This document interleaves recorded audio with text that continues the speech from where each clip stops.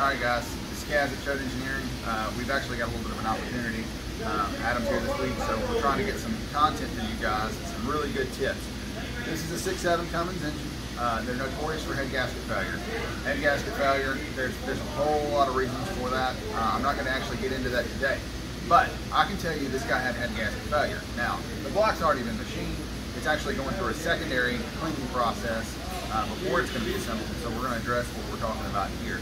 Um, but there is a problem with this. Let me show you what the effects of running stop leak are in your engine. Many guys do not understand this. So come on in, Adam. I'm going to show you guys. There's a couple of things that are going on. Look at the back cylinder here. Now most people would look over that and they wouldn't think a thing in the world about it. But the problem with it is, Adam, can I borrow your knife? Yes, sir. Everybody knows what a conductor is and everybody knows what an insulator is if you've ever done any kind of work with electrical right? Insulator obviously it isolates. Think insulator is isolation. What we have here is insul uh, basically an insulator.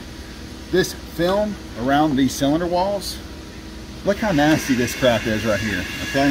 If I start peeling it off you can see the end of the knife. That's not normal. The reason why see this stuff that looks like raw clay what that is, is that's actually a stop leak that's gone through that block. Now, people go, well, I use the red devil, the blue devil, the, you know, Satan's devil, whatever kind of devil you use. Let me tell you, it is, it is definitely going to cause you all kind of problems. It is a devil because once it gets in your engine, um, it winds up stopping the leak, but it also becomes a insulator uh, and an isolator. So what I mean is, is that the heat properties coming off this cylinder wall as it's getting really, really hot coolant's coming past this. Now I have this layer of gunk. I mean, it's bad too. Really, really bad. So look at this back wall. I mean, I wish I could get it. Look at that. You see that? Yeah. The problem with it is, you said this is an expensive knife, by the way, but this is a really good knife. It's like 25 bucks. You're good. And he's great at sharpening, so don't worry about that.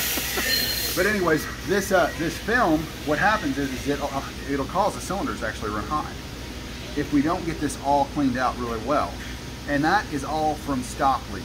Quit running stop leak in your stinking vehicle, okay? It doesn't help you, it hurts you.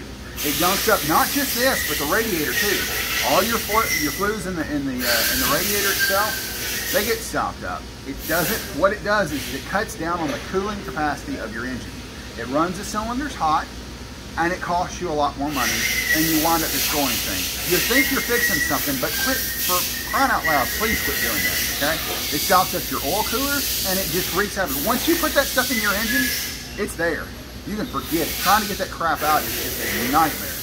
You pretty well, you can try to flush it till you're blue in the face, but you'll never get it all out. Once you put this stuff in, it's done. But it's isolating the cylinders from being able to allow heat to be pulled out of that cylinder.